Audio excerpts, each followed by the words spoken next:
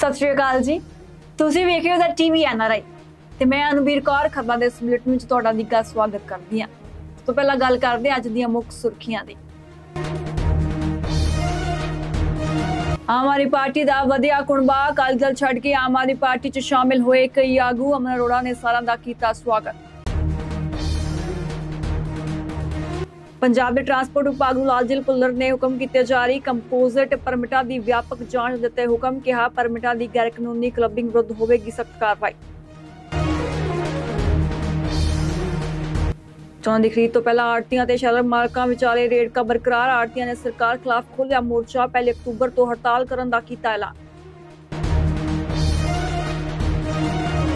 ਬੀਕਯੂ ਏਕਤਾ ਸਿੱਧੂਪੁਰ ਨੇ ਲਗਾਇਆ ਧਰਨਾ, ਅੰਮ੍ਰਿਤਸਰ ਦਾ ਭੰਡਾਰੀ ਪੁਲ ਜਾਮ ਕਰਕੇ ਕੀਤਾ ਪ੍ਰਦਰਸ਼ਨ, ਦੁਕਾਨਦਾਰੀ ਕੋਠੀ ਕੁਰਕ ਹੋਣ ਦਾ ਵਿਰੋਧ ਕਰ ਰਹੇ ਨੇ ਕਿਸਾਨ। ਰਾਸ਼ਟਰੀ ਗੋਰਖਸ਼ਾ ਮਹਾਸੰਘ ਦੇ ਵੱਲੋਂ ਸਰਕਾਰ ਵਿਰੁੱਧ ਧਰਨਾ ਮਿੱਥੇ ਸਮੇਂ ਲਈ ਭੁੱਖ ਹੜਤਾਲ ਕੀਤੀ ਸ਼ੁਰੂ, ਗਾਵਾਂ ਨੂੰ ਗਊਸ਼ਾਲਾ ਭੇਜਣ ਦੀ ਕੀਤੀ ਜਾ ਰਹੀ ਹੈ ਮੰਗ।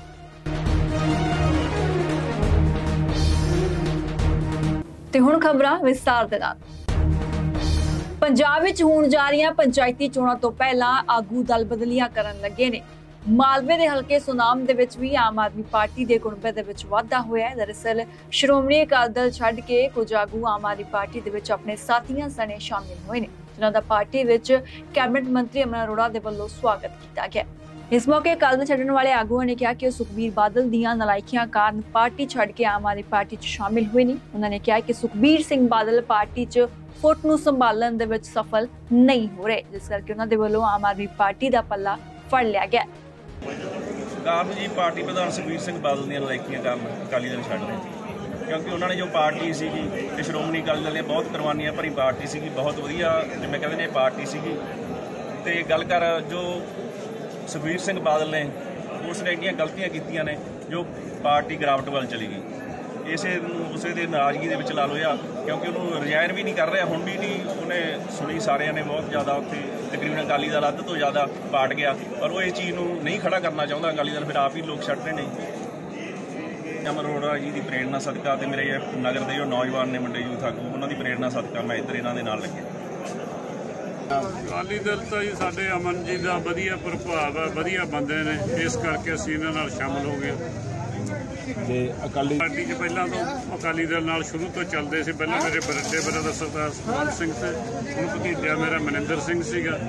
ਅਸੀਂ ਤਾਂ ਉਹਨਾਂ ਨੇ ਜਿਵੇਂ ਫੈਸਲਾ ਕਰ ਲਿਆ ਉਸ ਦੇ ਇਹ ਬਹੁਤ ਖੁਸ਼ੀ ਦੀ ਤੇ ਮਾਣ ਦੀ ਗੱਲ ਹੈ ਕਿ ਅੱਜ ਸਾਡੇ ਸੁਨਾਮ ਹਲਕੇ ਦੇ ਇਲਾਕੇ ਦੇ ਸਿਰਕੱਟ ਪਰਿਵਾਰ ਅ, ਨਾਮਵਰ ਪਰਿਵਾਰ ਔਰ ਸਾਫ਼ ਸੁਥਰੀ ਛਵੀ ਵਾਲੇ ਅ, ਸ਼੍ਰੋਮਣੀ ਅਕਾਲੀ ਦਲ ਦੇ ਆਗੂ ਮੇਰੇ ਵੀਰ ਸਾਹਿਬ ਮਨਿੰਦਰ ਸਿੰਘ ਜੀ ਲਖਮੀਰ ਵਾਲਾ ਆਪਣੇ ਪੂਰੇ ਪਰਿਵਾਰ ਦੇ ਨਾਲ ਔਰ ਸੈਂਕੜੇ ਸਾਥੀਆਂ ਦੇ ਨਾਲ ਸ਼੍ਰੋਮਣੀ ਅਕਾਲੀ ਦਲ ਨੂੰ ਅਲਵਿਦਾ ਕਹਿ ਕੇ ਆਮ ਆਦਮੀ ਪਾਰਟੀ ਦੇ ਵਿੱਚ ਮੇਰੇ ਪਰਿਵਾਰ ਦੇ ਵਿੱਚ ਸ਼ਾਮਲ ਹੋਏ ਨੇ ਮੈਂ ਸਮਝਦਾ ਕਿ ਇਹੋ ਜਿਹੇ ਸਾਫ਼ ਸੁਥਰੇ ਅਕਸ ਚਿੱਟੀ ਚਾਦਰ ਵਾਲੇ ਸਾਥੀ ਜਦੋਂ ਕਿਸੇ ਵੀ ਪਾਰਟੀ ਦੇ ਵਿੱਚ ਆਉਂਦੇ ਨੇ ਤੇ ਇਕੱਲਾ ਉਸ ਪਾਰਟੀ ਨੂੰ ਹੀ ਨਹੀਂ ਪੂਰੇ ਸਮਾਜ ਨੂੰ ਉਹਦਾ ਫਾਇਦਾ ਜਿਹੜਾ ਲਾਹਾ ਉਹ ਮਿਲਦਾ ਹੈ ਮੈਨੂੰ ਬਹੁਤ ਖੁਸ਼ੀ ਔਰ ਮਾਣ ਮਹਿਸੂਸ ਹੋ ਰਹੀ ਹੈ ਕਿ ਅੱਜ ਇਹਨਾਂ ਦੇ ਆਉਣ ਨਾਲ ਅਸੀਂ ਦੁਗਣੇ ਚੌੜੇ ਸੁਨਾਮ ਹਲਕੇ ਦੇ ਵਿੱਚ ਹੋ ਗਿਆ ਔਰ ਇਹਦਾ ਬਹੁਤ ਵੱਡਾ ਲਾਹਾ ਹੈ ਜਿਹੜਾ ਆਮ ਆਦਮੀ ਪਾਰਟੀ ਨੂੰ ਨਗਰ ਲਖਮੀਰ ਵਾਲੇ ਨੂੰ ਇਲਾਕੇ ਨੂੰ ਮਿਲੇਗਾ।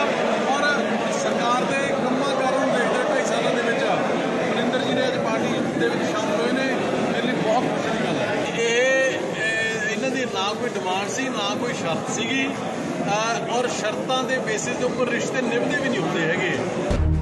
ਪੰਜਾਬ ਦੇ ਟਰਾਂਸਪੋਰਟ ਵਿਭਾਗ ਨੂੰ ਸਖਤ ਹੁਕਮ ਜਾਰੀ ਹੋਏ ਨੇ। ਇਹ ਹੁਕਮ ਪੰਜਾਬ ਦੇ ਆਵਾਜਾਈ ਮੰਤਰੀ ਲਾਲਜੀਤ ਸਿੰਘ ਭੁੱਲਰ ਨੇ ਜਾਰੀ ਕੀਤੇ ਨੇ।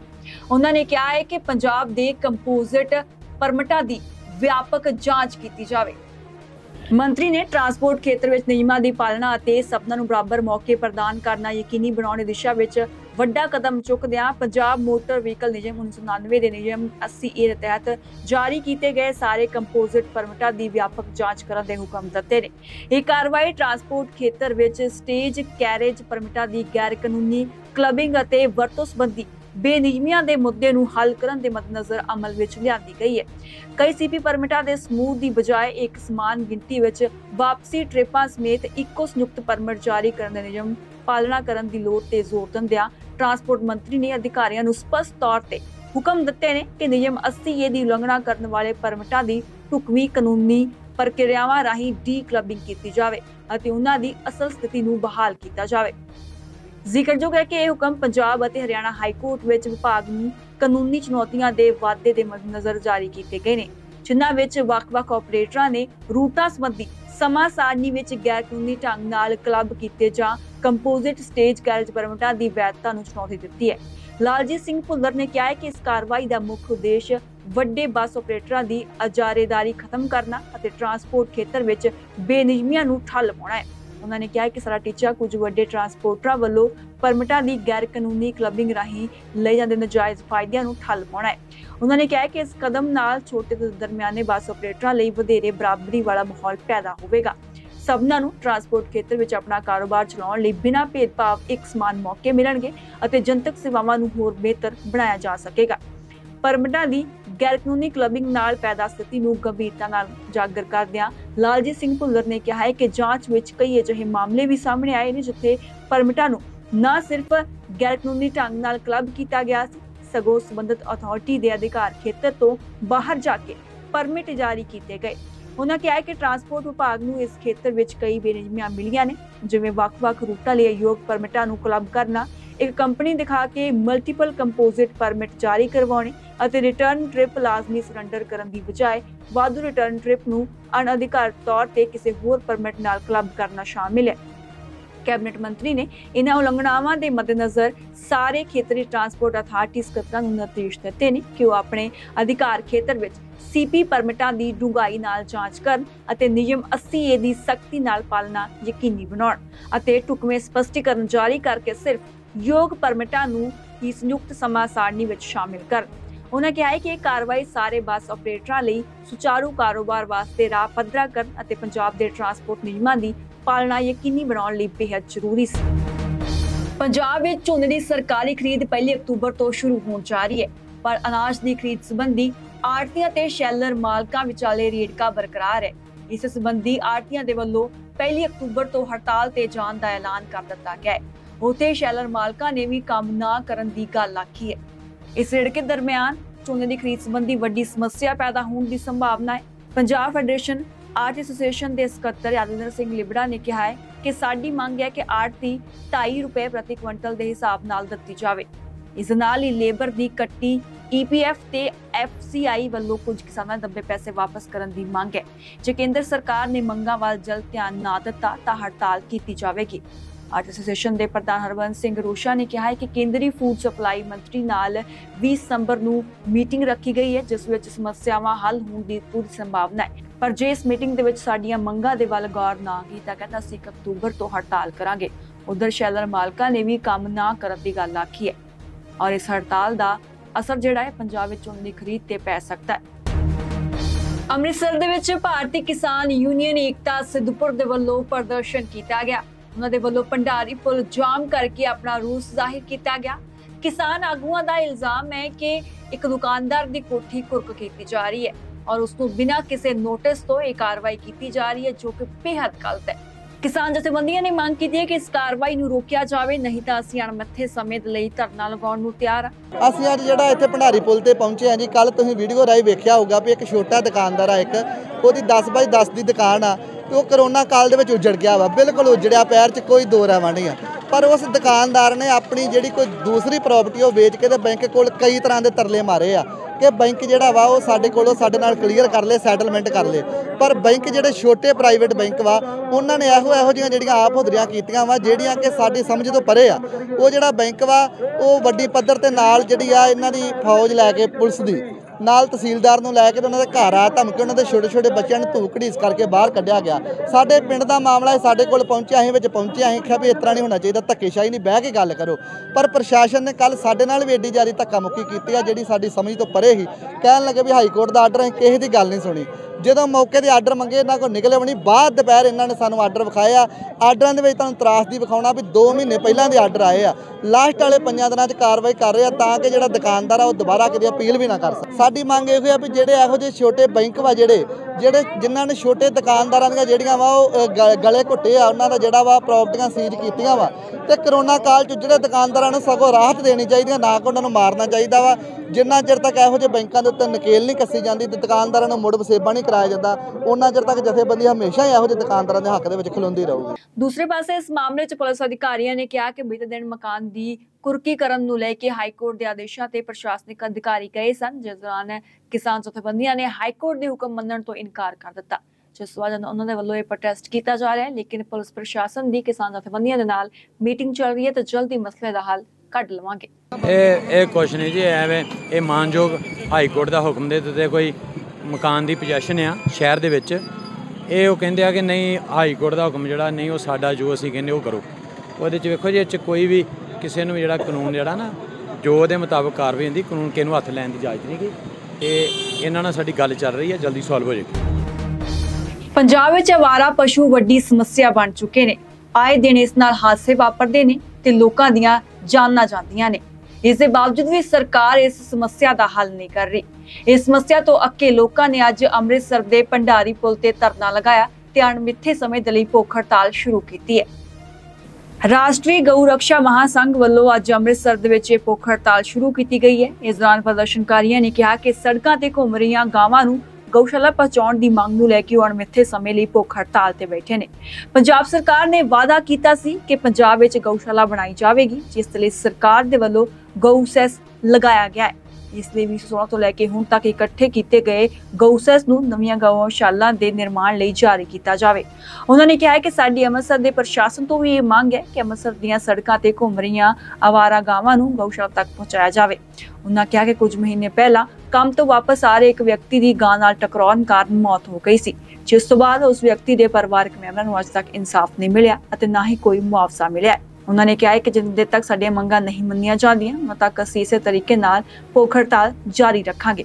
ਅੱਜ ਅਸੀਂ ਭੰਡਾਰੀ ਪੁਲ ਤੇ ਜਿਹੜਾ ਦੁਬਾਰਾ ਤੋਂ ਭੁੱਖ ਹੜਤਾਲ ਤੇ ਬੈਠੇ ਆਂ 13 ਜੁਲਾਈ 2024 ਨੂੰ ਵੀ ਅਸੀਂ ਬੈਠੇ ਸੀਗੇ, ਅੰਮ੍ਰਿਤਸਰ ਦੇ ਵਿੱਚ ਜਿਹੜੀਆਂ ਲੋਗੜ ਚੌਂਕ ਦੇ ਕੋਲ ਜਿਹੜੀਆਂ ਗਊਆਂ ਨੇ, ਦੁਰਗਿਆਨਾ ਮੰਦਿਰ ਦੇ ਕੋਲ ਜਿਹੜੀਆਂ ਗਊਆਂ ਨੇ, ਉਹਨਾਂ ਨੂੰ ਚੁਕਾਉਣ ਵਾਸਤੇ ਅਸੀਂ ਲਾਸਟ ਟਾਈਮ ਵੀ ਬੈਠੇ ਸੀ। ਇਲੀਗਲ ਡੇਰੀ ਵਾਲੇ ਜਿਹੜੇ ਉੱਥੇ ਗਊਆਂ ਛੱਡਦੇ ਨੇ ਉਹਨਾਂ ਦੇ ਲਈ ਵੀ ਉਹਨਾਂ ਤੇ ਕਾਰਵਾਈ ਕੀਤੀ ਜਾਏ। ਉਹ ਦੁੱਧ ਲੈ ਕੇ ਗਊਆਂ ਦਾ ਤੇ ਕੂੜਾ ਖਾਣ ਵਾਸਤੇ ਜਿਹੜੀਆਂ ਸੜਕਾਂ ਤੇ ਗਊਆਂ ਛੱਡ ਰਹੇ ਨੇ, ਉਹਨਾਂ ਤੇ ਕਾਰਵਾਈ ਕੀਤੀ ਜਾਏ, ਉਹਨਾਂ ਦੀਆਂ ਡੇਅਰੀਆਂ ਬੰਦ ਕੀਤੀਆਂ ਜਾਣ। ਤੇ ਉਹਦੇ ਨਾਲ ਨਾਲ ਇੱਕ ਜਿਹੜਾ ਹਾਦਸਾ ਮੰਦਭਾਗਾ ਜਿਹੜਾ 26 ਜੂਨ ਨੂੰ ਹੋਇਆ, ਮੇਰੇ ਨਾਲ ਭੈਣ ਬੈਠੀ ਹੈ, ਇਹਨਾਂ ਦੇ ਹਸਬੰਡ ਕੰਮ ਤੋਂ ਵਾਪਸ ਆ ਰਹੇ ਸੀਗੇ। ਉਹਨਾਂ ਦੇ ਹਸਬੰਡ ਦੀ ਜਿਹੜੀ ਡੈਥ ਹੋ ਜਾਂਦੀ ਹੈ, ਉਸ ਗਊ ਦੇ ਨਾਲ ਐਕਸੀਡੈਂਟ ਹੋਣ ਕਰਕੇ 2 ਤਰੀਕ ਨੂੰ 2 ਜੁਲਾਈ ਨੂੰ ਇਲਾਜ ਦੇ ਦੌਰਾਨ 11 ਜੁਲਾਈ ਨੂੰ ਇਹਨਾਂ ਨੇ ਡੀਸੀ ਸਾਹਿਬ ਨੂੰ ਮੰਗ ਪੱਤਰ ਦਿੱਤਾ। ਉਸ ਤੋਂ ਬਾਅਦ ਡੀਸੀ ਸਾਹਿਬ ਨੇ ਅੱਗੇ ਫਾਰਵਰਡ ਕਰਤੀ, ਐਸਡੀਐਮ ਨੂੰ, ਅੱਗੇ ਹੋਰ ਕਿਤੇ ਫਾਰਵਰਡ ਹੋਈ, ਲੇਕਿਨ ਇਹਨਾਂ ਨੂੰ ਕੋਈ ਵੀ ਇਨਸਾਫ ਨਹੀਂ ਮਿਲਿਆ। ਇੱਥੇ ਹੀ ਅਸੀਂ ਇਹ ਨਹੀਂ ਰੁਕੇ, ਉਸ ਤੋਂ ਬਾਅਦ ਜਿਹੜੇ ਗਊ ਸੇਵਾ ਕਮਿਸ਼ਨ ਦੇ ਵਾਈਸ ਚੇਅਰਮੈਨ ਨੇ, ਮਨੀਸ਼ ਅਗਰਵਾਲ ਜੀ, ਅਗਸਤ ਦੇ ਮਹੀਨੇ ਉਹਨਾਂ ਨੂੰ ਵੀ ਇੱਕ ਲੈਟਰ ਦਿੱਤੀ ਗਈ ਵੀ ਕਾਉਸੈਸ ਦੇ ਵਿੱਚੋਂ ਜਿਹੜਾ ਵਾ ਫੰਡ ਇਹਨਾਂ ਨੂੰ ਦਵਾਇਆ ਜਾਏ, ਬੱਚਿਆਂ ਦਾ ਸਿਕਿਉਰ ਕੀਤਾ ਜਾਏ ਫਿਊਚਰ ਲੇਕਿਨ ਅੱਜ ਤੱਕ ਇਹਨਾਂ ਨੂੰ ਕੋਈ ਇਨਸਾਫ ਨਹੀਂ ਮਿਲਿਆ। ਤੇ ਇਸ ਕਰਕੇ ਅੱਜ ਅਸੀਂ ਜਿੰਨੀ ਦੇਰ ਤੱਕ ਇਸ ਭੈਣ ਨੂੰ ਸਰਕਾਰ ਕੋਈ ਮੁਆਵਜ਼ਾ ਨਹੀਂ ਦਿੰਦੀ। ਇਹ ਕੋਈ ਤਰਸ ਦੇ ਆਧਾਰ ਤੇ ਨਹੀਂ ਅਸੀਂ ਅੱਜ ਬੈਠੇ। ਇਹਨਾਂ ਦਾ ਹੱਕ ਬਣਦਾ ਵਾ, ਇਹਨਾਂ ਦੇ ਹਸਬੰਡ ਕਾਉਸੈਸ ਭਰਦੇ ਹੀ ਪੰਜਾਬ ਦੀ ਜਨਤਾ ਕਰੋੜਾਂ ਦਾ ਰੁਪਈਆ ਭਰ ਰਹੀ ਹੈ ਕਾਉਸੈਸ ਇਹਨਾਂ ਨੂੰ ਉਹਨਾਂ ਦਾ ਮੁਆਵਜ਼ਾ ਜਿਹੜਾ ਹੱਕ ਦਿੱਤਾ ਜਾਏ, ਉਹਦੇ ਨਾਲ ਨਾਲ ਜਿਹੜੀਆਂ ਲੋਗੜ ਚੌਂਕ ਦੇ ਵਿੱਚ ਗਊਆਂ ਨੇ 50 ਤੋਂ ਵੱਧ, ਤੇ ਸ਼ਹਿਰ ਦੇ ਵਿੱਚ ਵੱਖ-ਵੱਖ ਜਗ੍ਹਾ ਤੇ ਗਊਆਂ ਚੁੱਕੀਆਂ ਜਾਣ। ਤੇ ਉਹਦੇ ਨਾਲ ਨਾਲ ਜਿਹੜੇ ਇਲੀਗਲ ਡੇਰੀ ਵਾਲੇ ਨੇ ਸਾਰੇ ਬਾਹਰ ਜਿਹੜੇ ਕੱਢੇ ਜਾਣ, ਫੇਰ ਹੀ ਅਸੀਂ ਜਿਹੜੀ ਭੁੱਖ ਹੜਤਾਲ ਖਤਮ ਕਰਾਂਗੇ, ਨਹੀਂ ਤੇ ਜਿਹੜੀ ਸਾਡੀ ਕੰਟੀਨਿਊ ਰਹੇ ਬਿਲਕੁਲ ਸਰ, ਜਦੋਂ ਅਸੀਂ 13 ਜੁਲਾਈ ਨੂੰ ਇੱਥੇ ਸਾਡੇ ਕੋਲ ਕਾਰਪੋਰੇਸ਼ਨ ਦੇ ਉੱਚ ਅਧਿਕਾਰੀ ਆਏ ਸੀਗੇ ਤੇ ਉਹਨਾਂ ਨੇ ਦੋ ਤਿੰਨ ਗੱਡੀਆਂ ਲਿਆਏ, ਉਹਨਾਂ ਨੇ ਦੋ ਚਾਰ ਗਊਆਂ ਚੁੱਕੀਆਂ ਤੇ ਸਾਨੂੰ ਕਹਿ ਦਿੱਤਾ ਵੀ ਕਾਰਵਾਈ ਕਰਨੀ ਸ਼ੁਰੂ ਹੋ ਗਈ ਹੈ, ਦੋ ਚਾਰ ਦਿਨਾਂ ਤੱਕ ਸਾਰੀਆਂ ਗਊਆਂ ਜਿਹੜੀਆਂ ਸ਼ੈਲਟਰ ਕੀਤੀਆਂ ਜਾਣਗੀਆਂ। ਮੈਂ ਕਹਾਂਗਾ ਪੰਜਾਬ ਦੀ ਜਨਤਾ ਨੂੰ ਤੇ ਬੇਵਕੂਫ ਬਣਾ ਰਿਹਾ, ਲੇਕਿਨ ਜਿਹੜੇ ਇੱਥੇ ਮੋਤਵਾਰ ਬੰਦੇ ਵੀ ਸ਼ਹਿਰ ਦੇ ਆਏ ਸੀਗੇ, ਉਹਨਾਂ ਨੂੰ ਵੀ ਕਾਰਪੋਰੇਸ਼ਨ ਨੇ ਬੇਵਕੂਫ ਬਣਾਇਆ। ਇਸ ਵਾਰ ਅਸੀਂ ਬੇਵਕੂਫ ਨਹੀਂ ਬਣਾਂਗੇ, ਜਿੰਨੀ ਦੇਰ ਤੱਕ ਗਊਆਂ ਚੁੱਕੀਆਂ ਨਹੀਂ ਜਾਣਗੀਆਂ, ਜਗ੍ਹਾ ਕਲੀਅਰ ਨਹੀਂ ਹੋਏਗੀ, ਉਨੀ ਦੇਰ ਤੱਕ ਦਿਨ ਰਾਤ ਇੱਥੇ ਆ, ਭਾਵੇਂ ਸਾਨੂੰ ਜਿੰਨੇ ਮਰਜ਼ੀ ਦਿਨ ਲੱਗ ਜਾਣ। ਬਿਲਕੁਲ ਸਰ, ਅਸੀਂ ਅੱਜ ਇਹੀ ਦੇਖੋ ਆ ਲਿਖ ਕੇ ਲਿਆਂਦਾ ਵਾ ਕਿ ਕਾਰਪੋਰੇਸ਼ਨ ਵੇਟ ਕਰ ਰਹੀ ਹੈ. ਫॉर ਅਨਦਰ ਦੈਟ ਮੈਨੂੰ ਤਾਂ ਇਹੀ ਲੱਗਦਾ ਹੈ ਵੀ ਕਾਰਪੋਰੇਸ਼ਨ ਵੇਟ ਕਰ ਰਹੀ ਹੈ, ਕਿਸੇ ਹੋਰ ਦਾ ਘ- ਬੰਦ- ਜੀ ਜਾਏ ਫੈਮਿਲੀ ਦਾ ਤੇ ਉਹ ਤਮਾਸ਼ਾ ਦੇਖ ਰਹੀ ਹੈ ਕਾਰਪੋਰੇਸ਼ਨ ਮੈਂ ਕਹਾਂਗਾ ਵੀ ਕਾਰਪੋਰੇਸ਼ਨ ਦੇ ਜਿਹੜੇ ਕਮਿਸ਼ਨਰ ਜਦੋਂ ਅਸੀਂ ਲੱਗਦੇ ਆ ਨਾ, ਇੱਕ ਪੜਿਆ ਲਿਖਿਆ ਬੰਦਾ ਜਿਹੜਾ ਕਮਿਸ਼ਨਰ ਲੱਗਦਾ, ਉਹਨਾਂ ਨੂੰ ਉਹਨਾਂ ਨੂੰ ਜਿਹੜੇ ਜਿਹੜੇ 10ਵੀਂ ਪਾਸ, ਜਿਹੜੇ ਮੈਂ ਕਹਾਂਗਾ ਜਿਹੜੇ ਲੀਡਰਾਂ ਦੇ ਕਹਿਣ ਤੇ ਉਹ ਨਾ ਚੱਲਣ, ਉਹ ਆਪਣੀ ਪੜ੍ਹਾਈ ਦਾ ਪੂਰਾ ਇਸਤੇਮਾਲ ਕਰਨ ਤੇ ਕਾਉਸੈਸ ਜਿਹੜਾ ਜਨਤਾ ਨੂੰ ਦੇਣ ਵੀ ਤੇ ਉਹਨਾਂ ਦੇ ਲਾਣ ਵੀ ਗਵਾਂ ਦੇ ਉੱਪਰ, ਫੇਰ ਵੀ ਤੁਹਾਡੀ ਤਾਂ ਪੜ੍ਹਾਈ ਦਾ ਫਾਇਦਾ ਅਦਰਵਾਈਜ਼ ਤੁਹਾਨੂੰ ਪੜਨ ਦਾ ਕੀ ਫਾਇਦਾ? ਐਡੀ ਵੱਡੀ ਸੀਟ ਤੇ ਜੇ ਤੁਸੀਂ ਪਬਲਿਕ ਦਾ ਕੰਮ ਹੀ ਨਹੀਂ ਕਰ ਸਕਦੇ? ਸਰ ਅੱਜ ਅਸੀਂ ਅ, ਸਰਕਾਰ ਨੂੰ ਜਗਾਉਣ ਲਈ ਬੈਠੇ ਆ ਜਿਨ੍ਹਾਂ ਦੀ ਲਾਪਰਵਾਹੀ ਕਾਰਨ ਅਸੀਂ ਮੈਂ ਆਪਣੇ ਹਸਬੰਡ ਨੂੰ ਖੋਇਆ ਤੇ ਇਹ ਗੁੜੀਆ ਨੇ ਆਪਣੇ ਪ- ਪਿਤਾ ਨੂੰ ਖੋਇਆ ਵਾ। 26 ਜੂਨ ਨੂੰ ਉਹਨਾਂ ਦੇ ਐਕਸੀਡੈਂਟ ਹੋਣ ਤੋਂ ਬਾਅਦ 2 ਜੁਲਾਈ ਨੂੰ ਉਹਨਾਂ ਦੀ ਡੈਥ ਹੋ ਗਈ। ਅਸੀਂ ਸਰਕਾਰ ਨੂੰ ਮੰਗ ਕੀਤੀ ਸੀ ਕਿ ਸਾਡਾ ਬਣਦਾ ਹ- ਮੁਆਵਜ਼ਾ ਸਾਨੂੰ ਦਿੱਤਾ ਜਾਏ ਤਾਂ ਕਿ ਕਿਉਂਕਿ ਇਹ ਉਹਨਾਂ ਦੀ ਲਾਪਰਵਾਹੀ ਸੀਗੀ। ਉਹਨਾਂ ਦੀ ਲਾਪਰਵਾਹੀ ਕਾਰਨ ਫਿਰ ਗਊਆਂ ਜਿਹੜੀਆਂ ਉਹ ਸਰ- ਸੜਕ ਤੇ ਖੁੱਲੇ ਆਮ ਘੁੰਮ ਰਹੀਆਂ ਨੇ। ਬਟ ਸਰਕਾਰ ਨੇ ਸਾਨੂੰ ਹਜੇ ਤੱਕ ਕੋਈ ਮੁਆਵਜ਼ਾ ਨਹੀਂ ਦਿੱਤਾ ਨਾ ਕਿਸੇ ਉੱਚ ਅਧਿਕਾਰੀ ਨੇ ਸਾਨੂੰ ਮਿਲਣ ਮਿਲੇ ਨੇ ਨਾ ਉਹਨਾਂ ਨੇ ਕੋਈ ਆਸ਼ਵਾਸਨ ਦਿੱਤਾ ਸਰ। ਤੇ ਡਾਕਟਰ ਮਹਿਰਾ ਡਾਕਟਰ ਰੋਹਨ ਮਹਿਰਾ ਜੀ ਨੇ ਸਾਨੂੰ ਇਹ ਆਸ਼ਵਾਸਨ ਦਿਵਾਇਆ ਕਿ ਅਸੀਂ ਤੁਹਾਡਾ ਬਣਦਾ ਹੱਕ ਤੁਹਾਨੂੰ ਦਿਵਾਵਾਂਗੇ। ਹੁਣ ਸਮਾਂ ਹੋ ਗਿਆ ਇੱਕ ਛੋਟੇ ਜਿਹੇ ਬ੍ਰੇਕ ਦਾ ਜਲਦ ਵਾਪਸ ਆਉਣੇ ਜੇ ਤੁਸੀਂ ਵੀ ਚਾਹੁੰਦੇ ਹੋ ਆਸਟ੍ਰੇਲੀਆ ਜਾਂ ਨਿਊਜ਼ੀਲੈਂਡ ਦੇ ਵਿੱਚ ਵਿਆਹ ਤਾਂ ਇੱਕੋ ਇੱਕ ਰਾਹ NRI marriage bureau. NRI Marriage Bureau. Find your perfect human. ਜੇ ਤੁਸੀਂ ਵੀ ਚਾਹੁੰਦੇ ਹੋ ਆਸਟ੍ਰੇਲੀਆ ਜਾਂ ਨਿਊਜ਼ੀਲੈਂਡ ਦੇ ਵਿੱਚ ਵਿਆਹ ਤਾਂ ਇੱਕੋ ਇੱਕ ਰਾਹ NRI marriage bureau NRI Marriage Bureau. Find your perfect human. ਜੇ ਤੁਸੀਂ ਵੀ ਚਾਹੁੰਦੇ ਹੋ ਆਸਟ੍ਰੇਲੀਆ ਜਾਂ ਨਿਊਜ਼ੀਲੈਂਡ ਦੇ ਵਿੱਚ ਵਿਆਹ ਤਾਂ ਇੱਕੋ ਇੱਕ ਰਾਹ NRI marriage bureau NRI Marriage Bureau. Find your perfect human. ਜੇ ਤੁਸੀਂ ਵੀ ਚਾਹੁੰਦੇ ਹੋ ਆਸਟ੍ਰੇਲੀਆ ਜਾਂ ਨਿਊਜ਼ੀਲੈਂਡ ਦੇ ਵਿੱਚ ਵਿਆਹ ਤਾਂ ਇੱਕੋ ਇੱਕ ਰਾਹ NRI marriage bureau. NRI Marriage Bureau. Find your perfect human. ਤੁਹਾਡਾ ਬ੍ਰੇਕ ਬਾਅਦ ਇੱਕ ਵਾਰ ਫਿਰ ਤੋਂ ਸਵਾਗਤ ਹੈ। ਹੁਣ ਅੱਗੇ ਵਧਦੇ ਹਾਂ। ਅੰਮ੍ਰਿਤਸਰ ਦੇ ਜਹਾਜ਼ਗੜ੍ਹ ਇਲਾਕੇ ਦੇ ਵਿੱਚ ਟੁੱਟੀ ਹੋਈ ਸੜਕ ਤੇ ਲੁੱਕ ਪਾ ਕੇ ਉਸ ਨੂੰ ਬਣਾਇਆ ਜਾ ਰਿਹਾ ਹੈ। ਪਰ ਇਸ ਦਾ ਇੱਕ ਦੁਕਾਨਦਾਰ ਦੇ ਵੱਲੋਂ ਵਿਰੋਧ ਕੀਤਾ ਜਾ ਰਿਹਾ ਹੈ। ਦੁਕਾਨਦਾਰ ਦਾ ਕਹਿਣਾ ਹੈ ਕਿ ਇੰਪਰੂਵਮੈਂਟ ਟਰਸਟ ਦੇ ਵੱਲੋਂ 40 ਫੁੱਟ ਚੌੜੀ ਸੜਕ ਬਣਾਉਣ ਦਾ ਨਕਸ਼ਾ ਪਾਸ ਕੀਤਾ ਗਿਆ ਹੈ।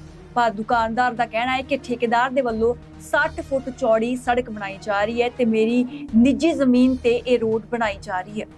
ਦੁਕਾਨਦਾਰ ਨੇ ਕਿਹਾ ਹੈ ਕਿ ਮੇਰੀ ਜ਼ਮੀਨ ਤੇ ਕਬਜ਼ਾ ਕੀਤਾ ਜਾ ਰਿਹਾ ਹੈ। ਉਹਨਾਂ ਨੇ ਕਿਹਾ ਹੈ ਕਿ ਮਾਣਯੋਗ ਕੋਰਟ ਵੱਲੋਂ ਜਗ੍ਹਾ ਤੇ ਸਟੇ ਲਗਾਇਆ ਹੋਇਆ ਹੈ, ਲੇਕਿਨ ਠੇਕੇਦਾਰ ਵੱਲੋਂ ਜਾਣਬੁੱਝ ਕੇ ਉਸ ਦੇ ਉੱਪਰ ਲੁੱਕ ਪਾ ਕੇ ਸੜਕ ਬਣਾਈ ਜਾ ਰਹੀ ਹੈ। ਪੀੜਤ ਦੁਕਾਨਦਾਰ ਨੇ ਕਿਹਾ ਹੈ ਕਿ 237 ਗਜ ਜ਼ਮੀਨ ਤੇ ਲੁੱਕ ਪਾ ਕੇ ਸੜਕ ਬਣਾਈ ਜਾ ਰਹੀ ਹੈ, ਜੋ ਕਿ ਮੈਂ ਕਦੇ ਵੀ ਬਰਦਾਸ਼ਤ ਨਹੀਂ ਕਰਾਂਗਾ। ਰੋਡ ਇਹਨਾਂ ਦੇ ਨਕਸ਼ੇ ਵਿੱਚ 40 ਫੁੱਟ ਦੀ ਰੋਡ ਪਾਸ ਹੈ ਇਹਨਾਂ ਦੀ। ਠੀਕ ਹੈ 7.5 ਫੁੱਟ ਦੇ ਡਿਵਾਈਡਰ ਫੁੱਟਪਾਥ ਪਾਸ ਨੇ। ਇਹ ਫੁੱਟਪਾਥ ਬਣਾਉਣ, ਫੁੱਟਪਾਥ ਨਾ ਬਣਾਉਂਦੇ ਆ, ਮੇਰੀ ਜਗ੍ਹਾ ਦੀ ਜਿਹੜੀ ਸਟੇ ਲੱਗੀ ਵਾਲੀ ਜਗ੍ਹਾ, ਉਹਦੇ 'ਚ ਜਾ ਕੇ ਸੜਕ ਬਣਾਉਣ ਲੱਗ ਪਏ ਅੱਗੋਂ ਬੰਦ ਆ। ਜਾਂ ਤੇ ਸੜਕ ਖੁੱਲੀ ਹੋ ਜਾਂ ਤੇ ਬਿਲਡਿੰਗ ਤੋੜ ਦੇਣ, ਸਿੱਧੀ ਕਰ ਦੇਣ। ਅੱਗੋਂ ਸਾਰੀ ਸੜਕ ਬਣਾ ਲੈਣ। ਮੈਨੂੰ ਕੋਈ ਇਤਰਾਜ਼ ਥੋੜਾ ਮੇਰੀ ਜਗ੍ਹਾ ਮੇਰੀ ਜਗ੍ਹਾ ਵੀ ਵਰਤਣ ਸੜਕ 'ਚ। ਪਰ ਮੇਰੀ ਸਟੇ ਲੱਗੀ ਵਾਲੀ ਜਗ੍ਹਾ 'ਚ ਥੋੜਾ ਸੜਕ ਬਣਾ ਜਾਣਗੇ। ਕਿੰਨੀ ਤੁਹਾਡੀ ਜਗ੍ਹਾ ਵਿੱਚ ਆ ਰਹੀ ਹੈ? 237 ਗਜ ਜਗ੍ਹਾ ਜੀ। ਕਿੰਨੇ ਫੁੱਟ ਜਿਹੜੀ ਸੜਕ ਮਨਜ਼ੂਰ ਹੈ ਇਸ ਤਰ੍ਹਾਂ? ਇਹਨਾਂ ਦੀ 40 ਫੁੱਟ ਮਨਜ਼ੂਰ ਹੈ ਜੀ। ਹੁਣ ਕਿੰਨੀ ਹੈ? ਸਾਰੀ ਤੇ ਪਾਈ ਜਾ ਇਹ ਸਾ- ਇਹ 70 80 ਫੁੱਟ ਤੇ ਜਾ ਵੜੇ ਜੀ ਜਾ ਕੇ। ਅੱਛਾ ਜੀ। ਲੱਗਦਾ ਹੈ ਕਿ ਇਹ ਸਿਫਾਰਸ਼ੀ ਹੋ ਰਹੀ ਜਾਂ ਗੈਰ ਕਾਨੂੰਨੀ ਸਾਰਾ ਇਹ? ਸਾਰਾ ਗੈਰ ਕਾਨੂੰਨੀ ਚੱਲ ਰਿਹਾ ਜੀ। ਸਿਫਾਰਿਸ਼ ਵੀ ਚੱਲ ਰਹੀ ਹੈ। ਐਕਸ਼ਨ ਜਿਹੜਾ ਇੰਪਰੂਵਮੈਂਟ ਅਸਰ ਉਹ ਕਹਿੰਦਾ ਮੇਰਾ ਸੋਹਰਾ ਜਿਹੜਾ ਹੈਗਾ ਅਕਾਲੀ ਲੀਡਰ ਹੈ ਬੜਾ ਵੱਡਾ। ਮੇਰੀ ਮੇਰੀ ਹਾਲ ਨਹੀਂ ਕੋਈ ਵੇਖ ਸਕਦਾ। ਇਹਦਾ ਮਤਲਬ ਇਹ ਥੋੜਾ ਕਿ ਕਿਸੇ ਦਾ ਸੋਹਰਾ ਕਿਸੇ ਦਾ ਸਾਲਾ। ਤੁਸੀਂ ਪ੍ਰਸ਼ਾਸਨ ਨਾਲ ਮਿਲੇ ਇਹਦੇ ਬਾਰੇ ਚ ਇਹਦੇ 'ਚ ਮੇਰਾ ਸਟੇ ਲੱਗਾ ਹੈ ਜੀ ਪ੍ਰਸ਼ਾਸਨ ਦਾ ਸਟੇ ਤੋਂ ਉੱਪਰ ਥੋੜਾ ਹੋ ਜਾਏਗਾ। ਠੀਕ ਹੈ। ਮੈਂ ਤੇ ਕੀ ਲੱਗਦਾ ਕਿ ਸਰਕਾਰੀ ਮਟੀਰੀਅਲ ਦੀ ਦੁਰਵਰਤੋਂ ਹੋ ਰਹੀ ਜਾ ਰਹੀ ਸਰਕਾਰੀ ਮਟੀਰੀਅਲ ਦੀ ਜ਼ਰੂਰਤ ਹੋ ਰਹੀ ਹੈ ਜੀ ਜਿੰਨੀ ਮਨਜ਼ੂਰ ਹੈ ਉਨੀ ਨਹੀਂ ਬਣਾਈ ਜਾ ਰਹੀ। ਉਨੀ ਨਹੀਂ ਬਣਾਈ ਜਾ ਰਹੀ। ਠੀਕ ਹੈ। ਹਾਂ। ਕੀ ਕਹਿਣਾ ਚਾਹੁੰਦੇ ਮੈਂ ਚਾਹੁੰਦਾ ਵੀ ਮੇਰੀ ਸਟੇ ਲੱਗੀ ਹੋਈ ਜਗ੍ਹਾ ਦੇ ਉੱਤੇ ਇਹ ਬਿਲਕੁਲ ਨਾ ਬਣਾਉਣ। ਕੰਟੈਂਪਟਾਂ ਫੈਲਨੇ ਇਹਨਾਂ ਦੇ ਉੱਤੇ ਨਾਲ। ਠੀਕ ਹੈ ਪਹਿਲੀ ਕੰਟੈਂਪਟਾਂ ਦੂਸਰੇ ਪਾਸੇ ਸੜਕ ਬਣਾਉਣ ਵਾਲੇ ਠੇਕੇਦਾਰ ਨਾਲ ਗੱਲਬਾਤ ਕੀਤੀ ਗਈ ਤਾਂ ਉਸਨੇ ਦੱਸਿਆ ਕਿ ਇੰਪਰੂਵਮੈਂਟ ਟਰਸਟ ਵੱਲੋਂ ਉਹਨਾਂ ਨੂੰ 60 ਫੁੱਟ ਚੌੜੀ ਸੜਕ ਬਣਾਉਣ ਦਾ ਠੇਕਾ ਮਿਲਿਆ ਹੋਇਆ ਹੈ ਅਤੇ ਉਹ 60 ਫੁੱਟ ਦੀ ਚੌੜਾਈ ਵਾਲੀ ਸੜਕ ਹੀ ਬਣਾ ਰਹੇ ਨੇ। ਇਸ ਤੋਂ ਇਲਾਵਾ ਉਹਨਾਂ ਨੂੰ ਇਸ ਬਾਰੇ ਕੋਈ ਵੀ ਜਾਣਕਾਰੀ ਨਹੀਂ ਹੈ। ਲੁੱਕ ਭਾਜੀ 65 ਐਮਐਮ ਪੈਣ ਡਈ ਆ। ਤੇ ਕਿੰਨੇ ਏਰੀਆ ਕਿੰਨੀ ਫੁੱਟ ਸੜਕ ਮਨਜ਼ੂਰ 60 ਫੁੱਟ ਕਹਿਣ ਡੇ 60 ਫੁੱਟ 60 ਫੁੱਟ ਕਹਿੰਦੇ ਨੇ। ਹਾਂਜੀ। ਕਾਗਜ਼ਾਂ 'ਚ ਕਿੰਨੀ ਆ? ਕਾਗਜ਼ਾਂ 'ਚ ਵੀ 60 ਫੁੱਟ ਹੀ ਆ ਵਿੱਚ। ਪੁਰਾਣੇ ਕਾਗਜ਼ਾਂ 'ਚ ਵੀ 60 ਫੁੱਟ ਹੀ ਆ? ਹਾਂਜੀ। ਦੋ ਦੋ ਨਹੀਂ ਨਹੀਂ ਅਸੀਂ ਤਾਂ ਭਾਜੀ ਬਣਾਉਣ ਵਾਲੇ ਹੀ ਆ ਵੇਖੋ। ਨਹੀਂ ਕਿੰਨੀ ਉਹਨਾਂ ਦਾ ਕਹਿਣਾ 60 ਫੁੱਟ 60 ਫੁੱਟ ਮਨਜ਼ੂਰ ਹੈ ਉਹਨਾਂ ਦੀ ਨਿੱਜੀ ਜ਼ਮੀਨ ਦੇ ਵਿੱਚ ਬਣਦਾ 60 ਫੁੱਟ ਆ ਭਾਜੀ ਜੇ ਨਿੱਜੀ ਜਿਆ ਤੇ ਉਹ ਇੰਟਰਸਟ ਨਾਲ ਜਾ ਕੇ ਗੱਲ ਕਰਨ। ਜੋ ਮੈਂ ਕਹਾ ਭਾਜੀ ਉਹਨਾਂ ਨੂੰ ਜਾ ਕੇ ਐਕਸੀਅਨ ਨੂੰ ਐਸਡੀਓ ਨੂੰ ਸਟੇ ਵਿਖਾ ਦੇਣ। ਭਾਜੀ ਸਵੇਰੇ ਮੌਸਮ ਠੀਕ ਹੀ ਹੈ ਤੇ ਹੁਣ ਇਹਨਾਂ ਨੇ ਰੋਕਿਆ ਵਾ। ਇਹ ਕਿਵੇਂ ਨਿੱਕੀ ਜੀ ਗੱਲੋਂ ਕੰਮ ਰੋਕਦਾ ਬੰਨ ਟੇਡੀ ਮੇਡੀ ਸੜਕ ਵੀ ਬਣਾ ਸਕਦੇ ਆ ਨਹੀਂ ਟੇਢੀ ਮੇਢੀ ਨਹੀਂ ਭਾਜੀ ਬਣਾ ਸਕਦੇ। ਅਸੀਂ ਆ ਵੇਖੋ ਤੁਹਾਡੇ ਸਾਹਮਣੇ ਬਣੀ ਰਹੀ ਹੈ। ਭਾਜੀ ਜਿੰਨੀ ਉਹਨਾਂ ਨੇ ਕਿਹਾ 60 ਫੁੱਟ ਹੈ 60 ਫੁੱਟ ਹੀ ਲਈ ਆਪਾਂ ਵੱਧ ਲਈ। ਤੇ ਤੇ ਭਾਜੀ ਉਹ ਕੋਰਟ 'ਚ ਜਾ ਕੇ ਗੱਲ ਕਰਨਾ ਆਪਾਂ ਨੂੰ ਤਾਂ ਕੋਈ ਫਾਇਦਾ ਨਹੀਂ। ਤੇ ਇਸ ਬੁਲੇਟਿਨ ਦੀਆਂ ਚੋਣਵੀਆਂ ਖਬਰਾਂ ਦੇ ਵਿੱਚ ਫਿਲਹਾਲ ਇੰਨਾ ਹੀ। ਹੋਰ ਅਪਡੇਟਸ ਸੇ ਪ੍ਰੋਗਰਾਮ ਲਈ ਤੁਸੀਂ ਬਣੇ ਰਹੋ ਦਾ ਟੀਵੀ ਐਨਆਰਏ ਦੇ ਨਾਲ।